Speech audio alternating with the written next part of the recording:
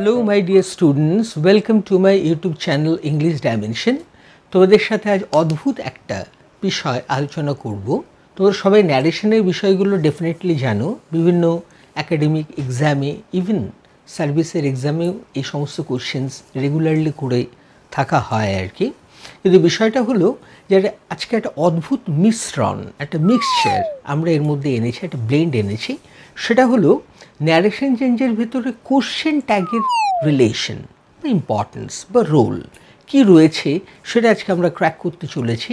Video ভীষণ interesting হবে, পুরোটা তোমরা মন দিয়ে দেখো, এটাই এক্সপেকটেশন দেখো স্টুডেন্টরা অ্যাকচুয়ালি কোশ্চেন ট্যাগ বা ট্যাগ কোশ্চেন এটা রেগুলার কোনো কোশ্চেন প্যাটার্নে পড়ে না, এগুলোকে আমরা টেন্টেটিভ স্টেটমেন্ট বলে থাকি। আর এগুলোকে যখন আমরা এক্সপ্রেস করব ডাইরেক্ট টু ইনডাইরেক্ট ন্যারেশনে তখন কিছু একটা রং তোমার কনসেপ্ট ফর্ম হতে পারে in regular application of question tags in indirect narration সেই ক্ষেত্রে অক্সফোর্ড ইউনিভার্সিটির টিচিং ডিভিশন তারা একটা ওপিনিয়ন দিয়েছেন। সেটা হচ্ছে ট্যাগ কোশ্চেনকে আমরা যদি ট্রেডিশনালি ইনডাইরেক্ট স্পিচে কনভার্ট করতে চাই, তাহলে জেনারেলি আমাদের কিছু ভার্বের সাহারা নিতে হতে পারে। যেমন ভার্বগুলোর মধ্যে পড়ছে থিঙ্ক হোপ বিলিভ ইত্যাদি ইত্যাদি।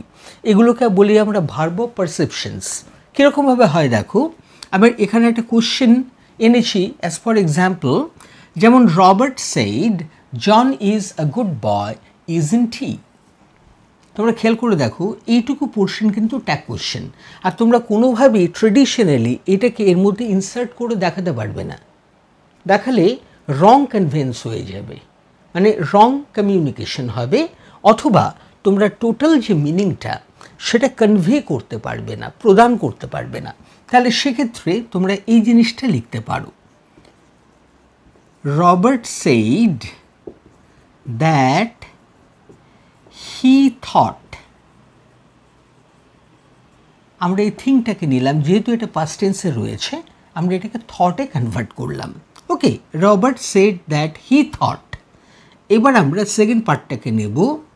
জন এই ইসটা ওয়াজ হয়ে যাবে ফর্মাল যে নিয়ম রয়েছে সে অনুযায়ী জন ওয়াজ আ গুড বয়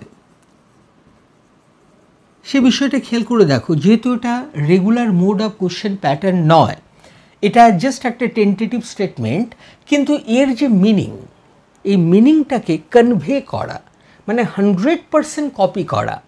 এই ধরনের ভার্বগুলো যদি তুমি না আনো, সেখানেই তুমি ট্যাগ কোশ্চেনকে কিন্তু হ্যান্ডেল করতে পারবে না।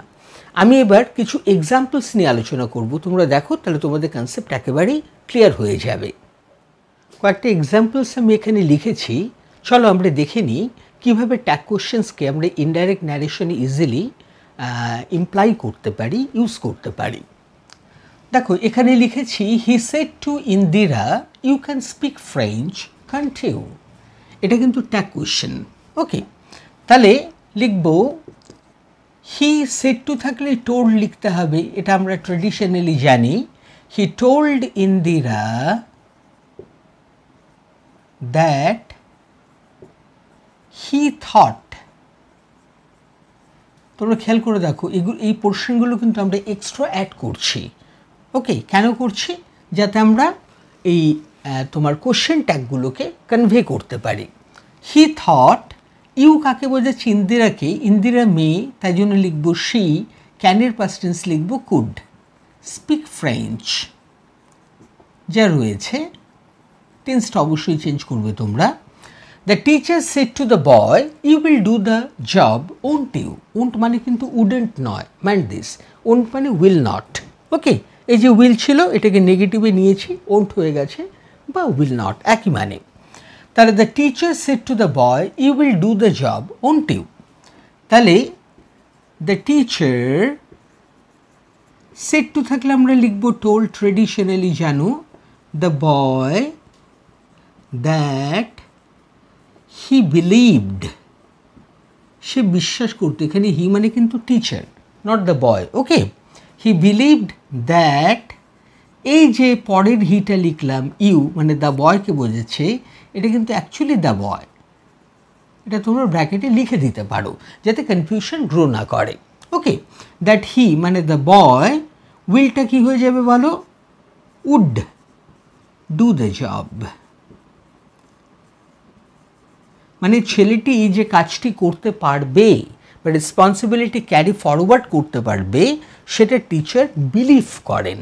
তাহলে খেয়াল করে দেখো, এই পোর্শনগুলো কিন্তু আমরা এক্সট্রা অ্যাড করছি।